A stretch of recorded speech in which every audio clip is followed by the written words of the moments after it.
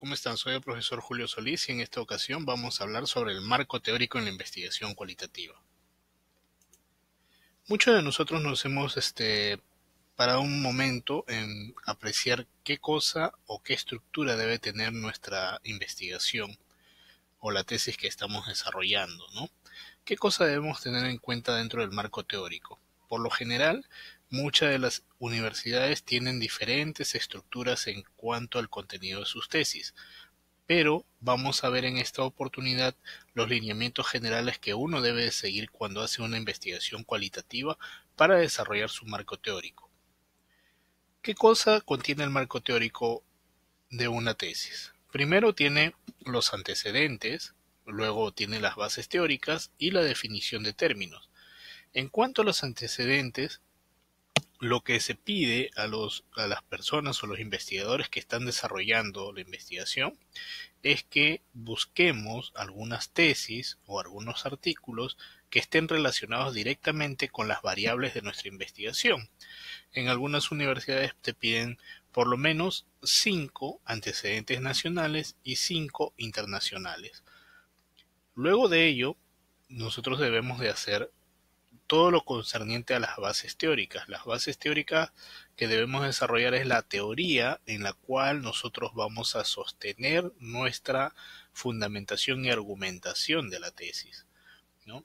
Estas bases teóricas me van a permitir a mí posteriormente hacer los instrumentos, ¿no? O utilizar estas bases teóricas para elaborar los instrumentos y también para poder analizar los, los resultados de la investigación y hacer la discusión de ellos, ¿no? En la definición de términos tenemos lo que son las definiciones en las cuales nosotros basamos la investigación. Esto depende de las variables del estudio, las categorías que tenga, ¿no? En este apartado lo que debemos hacer es definir cada una de ellas. ¿Qué vienen a ser los antecedentes de la investigación? Son tesis o artículos que tengan las variables de nuestra investigación de preferencia investigaciones cualitativas. Sin embargo, se pueden poner investigaciones cualitativas. ¿Por qué les digo esto? Porque la investigación cualitativa se ha venido desarrollando durante estos últimos años, pero casi la mayoría de las investigaciones están hechas con el enfoque cuantitativo, ¿no? Y va a ser de repente un poco difícil de que tú puedas ver o este, encontrar algunas tesis que tengan esta, este enfoque cualitativo. Se pide de preferencia, pero si no lo hay, entonces podemos tomar alguna este, investigación cuantitativa. Por lo menos deben ser cinco internacionales y cinco nacionales, menor o igual a cinco años de, antigüedad.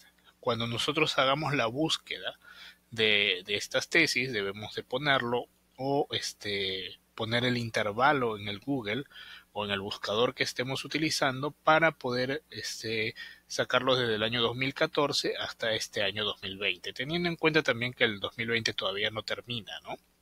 ¿Qué pasa si por ahí no encontramos algún antecedente y por así tenemos el 2013 o 2012?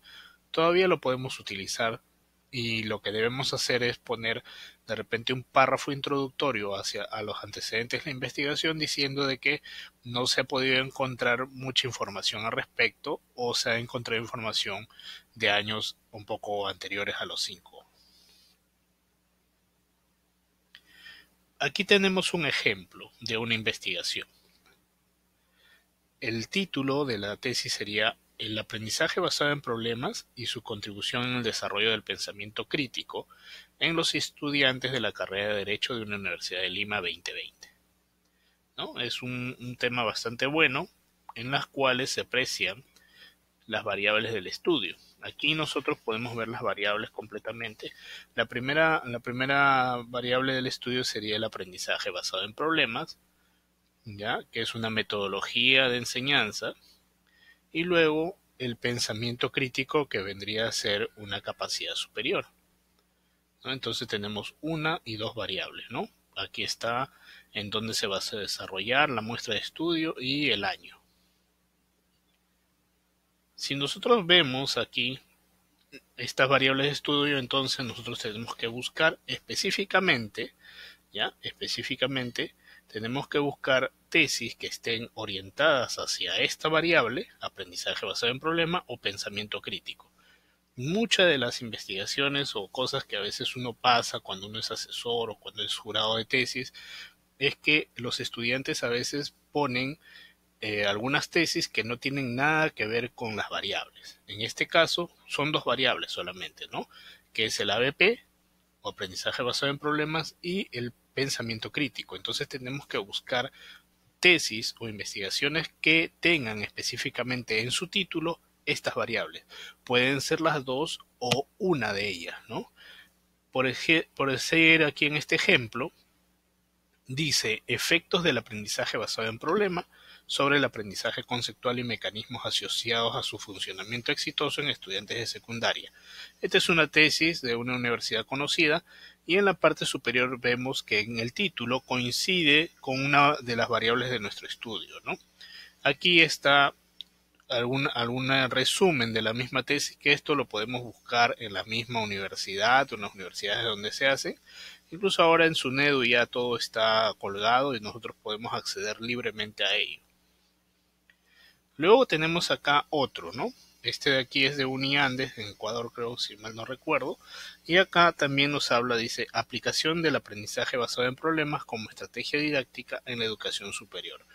Estamos teniendo en cuenta aquí, nuevamente repetimos la primera variable del estudio, ¿no? Aprendizaje basado en problemas.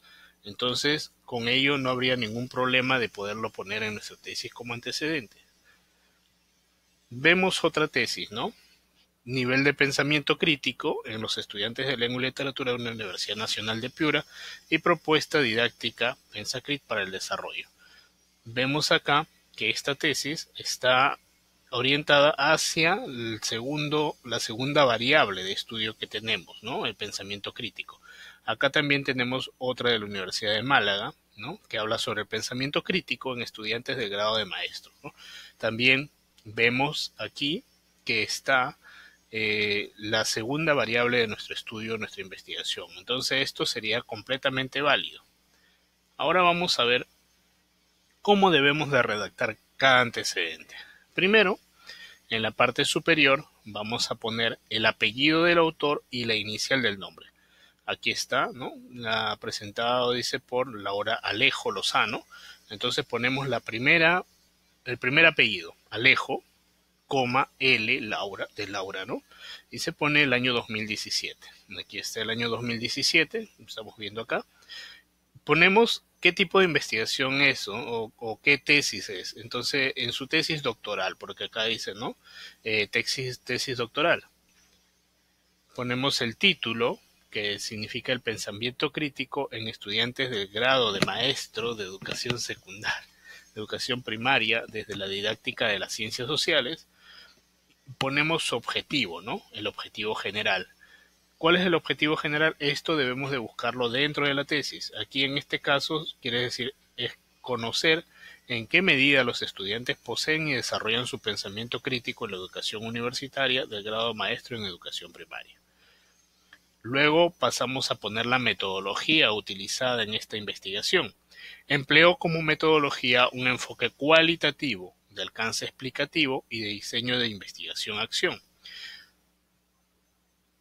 Seguimos con la muestra que utilizó la investigación. La muestra de estudio estuvo constituida por 324 estudiantes de primero al octavo ciclo que estudian la carrera de educación primaria en pregrado en una universidad privada de Málaga. Luego ponemos la conclusión general de esta investigación, ¿no? Llegó a la conclusión que desde la universidad se apuesta por promover un cambio social a gran escala por medio de una nueva forma de aprender, creando una comunidad global sostenible que apoye el aprendizaje continuo en los conocimientos, desarrollando todas las competencias y generando una capacidad de pensamiento crítico imprescindible como cualidad para formar a futuros docentes. Y esta parte de acá abajo es el aporte que nosotros pensamos que esta tesis le puede dar a nuestra investigación.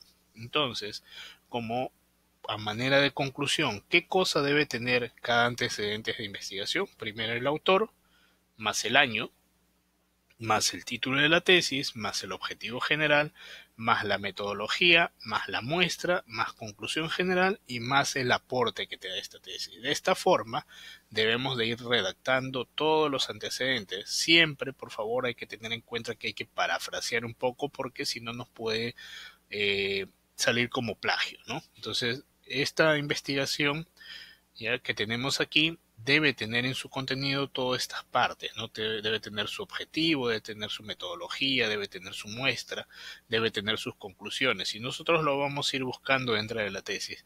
En un lugar donde podemos ver de repente un resumen de todo esto que nosotros estamos pidiendo aquí es en el resumen de cada tesis, ¿ya? Pero como les decía, en muchas universidades los resúmenes se hacen de manera diferente. Entonces, aquí en Perú por lo general he visto que muchas universidades lo hacen de esta forma que le estoy mostrando, pero en otras no lo hacen así. Entonces van a tener que ir viendo, ¿no? De acuerdo a la estructura de la tesis, dónde están los objetivos, dónde está la muestra, dónde está la metodología, dónde están las conclusiones y de ahí ir sacando la información. Luego vamos a ver qué cosas son las bases teóricas de la investigación. Es la teoría en la que gira y se fundamenta la investigación es el conjunto de definiciones, principios o conceptos resaltados por el investigador. En los estudios cualitativos se espera la interpretación de la teoría conteniendo una parte de la realidad que se estudia. Cuando nosotros hacemos las bases teóricas también, no debemos de irnos a, temas que no tengan nuestras variables. O sea, aquí en, esta investigación tenemos solamente dos variables. Uno, que es eh, el aprendizaje basado en problemas y el pensamiento crítico. ¿no? Entonces sobre ello debe girar nuestras bases teóricas. ¿De dónde debo sacar la literatura de las bases teóricas? Principalmente de libros, ¿no?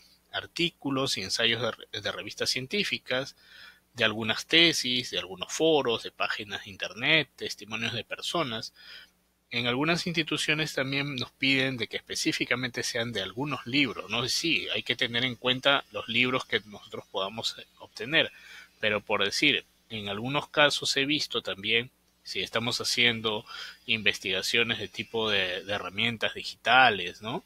Eh, hay muy, muy, poca información en cuanto a las herramientas digitales actuales que estamos utilizando. ¿ah? Ustedes saben que en estos momentos, a raíz de la pandemia, eh, toda la parte de la enseñanza se ha orientado hacia la educación virtual. Entonces estamos utilizando muchas herramientas de trabajo colaborativo, herramientas de evaluación, herramientas que van enfocadas hacia el compartir documentos, etcétera.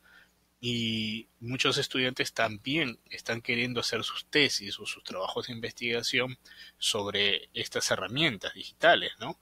pero cuando vamos a buscar en los libros específicamente no existe, ¿ya? No existen en los libros eh, la herramienta digital que estamos buscando, existen pero de manera genérica. Entonces, lo que podemos hacer es buscar en artículos científicos porque sí, en los artículos científicos sí he encontrado mucha información sobre ello. ¿Ya? O algunas otras tesis que podamos ver. ¿Qué debo incluir en mis bases teóricas? Si vemos aquí, estoy volviendo a copiar el título, ¿no? Del título anterior se debe desarrollar las variables del estudio, ¿no? Aprendizaje basado en problemas y pensamiento crítico. ¿Qué quiere decir? Que estos deben ser los subtítulos principales de la investigación. O sea, debe haber un subtítulo que diga aprendizaje basado en problemas y el otro subtítulo pensamiento crítico. Dentro de cada uno de ellos sí podemos poner otros subtítulos, por decir, dentro del aprendizaje basado en problemas podemos poner la definición, los tipos, las dimensiones o categorías, etcétera, sobre el aprendizaje basado en problemas. Y sobre el pensamiento crítico tendríamos que poner qué cosa es una capacidad, qué cosa es una competencia, qué es el pensamiento crítico, ¿no? Eh, cómo se desarrolla el pensamiento crítico, estrategias o técnicas didácticas para desarrollar el pensamiento crítico. Esas serían las partes en donde giraría todo este tema del pensamiento crítico. Y esto, por lo general, se hace por lo menos de 20 a 40 páginas en total, ¿no? Entre las dos variables. En algunos te dicen, bueno, puedes poner 10 o 15 páginas de cada uno. Lo recomendable, según Creswell, en el año 2013 nos dice que nuestra base teórica debe tener entre 20 a 40 páginas. Aquí vemos un pequeño ejemplo, ¿no? un pequeño ejemplo sobre lo que es el ABP. ¿no? Eh, hay una introducción, están las bases conceptuales y pedagógicas y psicológicas del ABP, sus características, sus diseños, sus beneficios, mecanismos, sus estudios, ¿no? cómo se desarrolla el método y todas las fases que éstas componen. Y en el otro lado tenemos lo que es el pensamiento crítico. ¿no? Y acá dice breve historia del pensamiento crítico Pensar críticamente, que es el pensamiento, perspectivas, conceptualizaciones, estructura del pensamiento crítico, sus componentes, sus dimensiones, el desarrollo del, pensamiento crítico en la universidad, algunas corrientes, ¿no? Esto corresponde al desarrollo de cada variable. Ahora, una, un alcance que les voy a dar. Cuando nosotros hacemos investigaciones cualitativas, no es como en las cuantitativas que se nombran siempre las dimensiones. Aquí en este caso vamos a nombrar las categorías, ¿ya? que vendría a ser casi algo análogo a las dimensiones. ¿Qué viene a ser la definición de términos? Consiste en dar el significado preciso a los conceptos o definiciones de acuerdo al contexto de la investigación. Debe definirse cómo se entienden las variables, categorías o palabras claves de la investigación en este caso del título vamos a volver aquí. Las palabras claves de este título sería el aprendizaje basado en problemas y tenemos que poner qué cosa es el pensamiento crítico. Dentro del aprendizaje basado en problemas nosotros tenemos categorías, debemos definir cada una de las categorías en este apartado. Si dentro del pensamiento crítico también tenemos algunas categorías, también deberíamos incluirlas o definirlas.